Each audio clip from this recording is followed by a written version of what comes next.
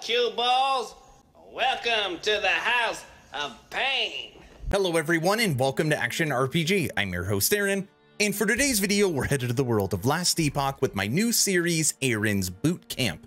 And what do I have for you today? Loot filter creation. My goal is by the end of this video, even if you've never played Last Epoch before, you can log into the game and make your own custom loot filter that is tailored to your gaming experience. Now, I know a lot of people just export in loot filters for the guide they are following, and you could totally do that, but I don't recommend it. Put in your colors, put in your affixes, put in your style to the game. It really does make a difference. Now, just gonna put this out there really quickly. Lots and lots of different gamers and content creators create loot filters differently. This is just the way I like to do it. I am not saying it's the best. I am just saying my 1500 hours into Last Epoch this is the loot filter that I create that works very well for me, and I'm gonna share that with you. It's also very easy to put together. Okay, with all of that out of the way, let's make a end game loot filter. Hit escape, settings, and we're gonna go to manage loot filters under gameplay and click create new loot filter, create new filter. Okay, now we're starting. We're gonna do Aaron's boot camp. And this is a necromancer, so we'll put a skull, and then for the skeletons, we'll put white, and bam, our loot filter is created. Now, I should have mentioned this at the very beginning. Again, level one, brand new player, end game, this loot filter will work for all of them. It's just all about the different bases that you select. So now that we have created our loot filter, we need to add rules to it. And you're gonna click add rule. And the first thing you're gonna do is hide. You're just going to click hide and you're going to add. What this does is hide all items. Now, if, if we just stopped right here and you went and played, the only thing that would drop would be potions, gold, and crafting material. Literally nothing else. Okay? We have now hidden every single item in the game. So the idea of this loot filter is really simple. We hide everything and then we put rules on top of it that override it that then show us what we want to see. Easy, right? We're going to go add rule. Now we are going to recolor. I use this kind of, it's the action RPG orange right here because you never really see that color in game. Hit confirm, and then we are going to add a condition, item type, and now we're just going to select the items we want to see. Now for this build, I'm using the Dragonflame Edict Staff. So I don't need any one-handed weapons. I don't need any two-handed weapons, and we don't need any offhand. So we're going to start by focusing on the armor, okay? I know loot filters get overwhelming for people. Just follow me, okay? You're going to see how easy this is, okay? Just within the first couple rules. So we're going to go armor. We are going to click helmet. We're going to confirm. And then right here under subclass, we are going to click on that. We are going to click on acolyte. And then we're going to pick what skulls, what helmet we actually want to see. Okay, so on here, we want adaptive spell damage for minions, and we want increased minion damage. All right, so for helmets, the only ones that we will see dropped on the ground is increased minion damage and adaptive spell, adaptive damage for minions, okay? Now, let's say we were doing a level one loot filter. Well, instead of clicking these, I would click this, this, and this. Other than that, it's the exact same loot filter, you're just selecting different bases, but this is an end game we are creating right now. And we confirm. So for this rule, under helmets, we have selected the helmet, we have selected the two type. Now we need to add the conditions. So on here, we're going to click affix and we're going to pick what affixes we want to see. Well, I want to see vitality. I want to see health. And we'll do cooldown. Cooldown recovery. Okay. Boom. And add. So now, every time one of those helmets drop and have at least one of those affixes on it, it will show on the ground as orange. Okay. We're going to continue. Okay. Watch, I'm going to do this one a little faster, then we'll slow down again. Body armor, acolyte, I want endurance and mana regen. And what I'm looking for is vitality, health, and intelligence. Okay. Done. Recolor, orange, add condition, item type, belt, type of belt, add, affix, minion, damage, minion health, mana,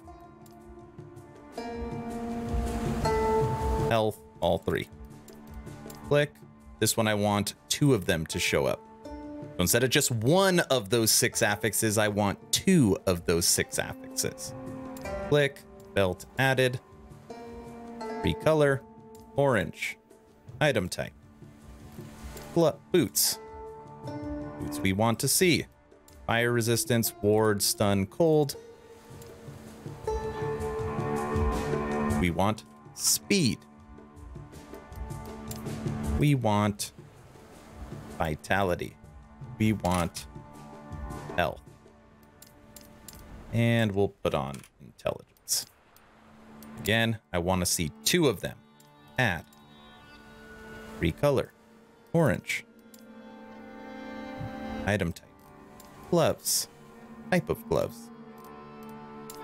Void. Endurance. Cast speed. And we'll take necrotic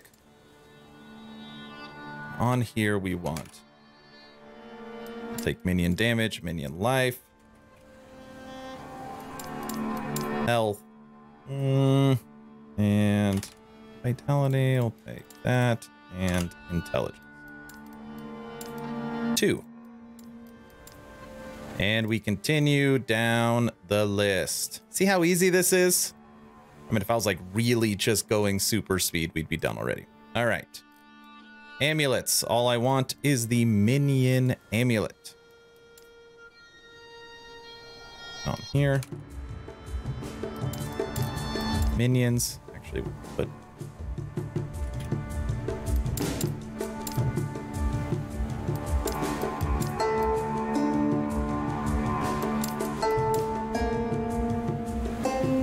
You're getting it right. Ring. Minion ring which affixes for the minion ring. Let's take minion damage, minion health.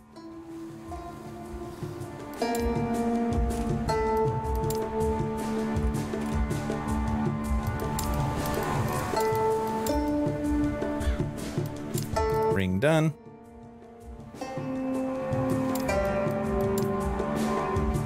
Now we are on Relic. Acolyte. We want this one or that one. And this is where you can tailor it to yourself. You're not just copying my filter, right? You can put in your color.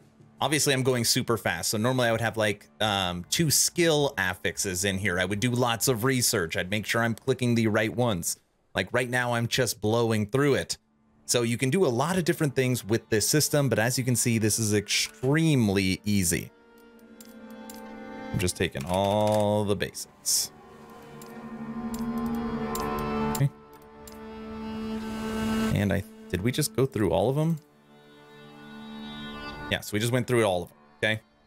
So, don't need any one-hand weapons, but let's just let's just throw a one-handed weapon. So on here I would take scepter.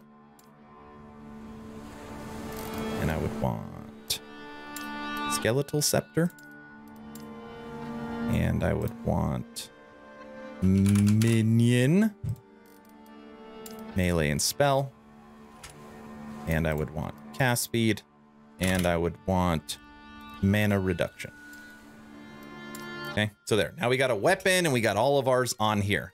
So now again, any of these drop, they're going to show up as orange on the ground. But this is not all, okay? not even close. Well, pretty close. Now you want to show rarity. Okay. We want to see all set items, unique and exalted. Add. So now, because again, we hid everything, right? So we do want to see unique, set, and exalted. And then for me, I want to show because I've been hunting item type for good idols. So show all idols. And that's where you could tailor it to what kind of idols you want to see. All right. And then I want to recolor and we'll pick a random color. We'll take this brown specific affixes I'm looking for. Okay, so I'll go into Acolyte. And now any item in the game that drops with skeleton mage damage. Um, let's see.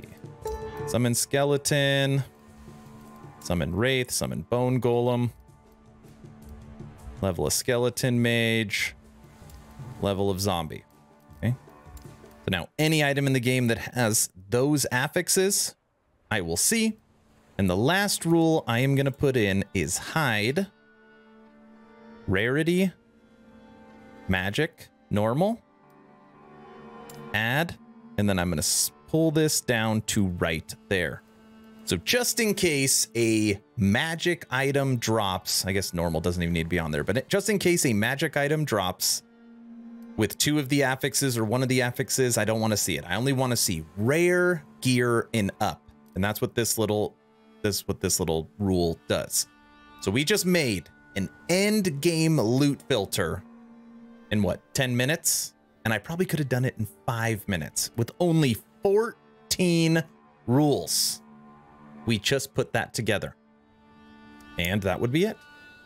We are good and we are ready to play forever.